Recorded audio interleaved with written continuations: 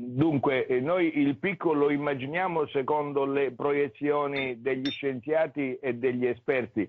È un picco che si prevede complessivamente per tutto il mezzogiorno d'Italia.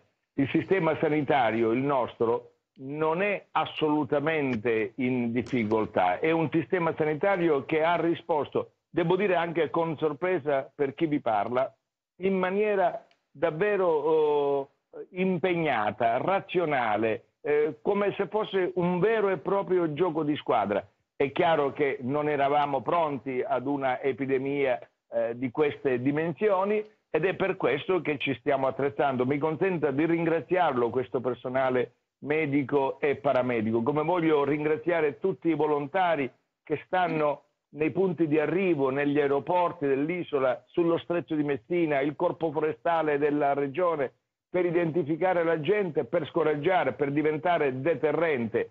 Stiamo collaborando con tutti i 390 sindaci dell'isola che si trovano di fronte a mille domande alle quali non sempre si sa e si può rispondere per ovvie ragioni, a cominciare da chi vi parla. Voglio ringraziare i nove prefetti dell'isola, i questori, insomma c'è veramente una mobilitazione delle forze dell'ordine ed è per non vanificare questo sforzo globale che noi abbiamo dovuto adottare questa ulteriore misura restrittiva. Meglio soffrire 15 giorni che dover soffrire poi per mesi e mesi. Assolutamente sì.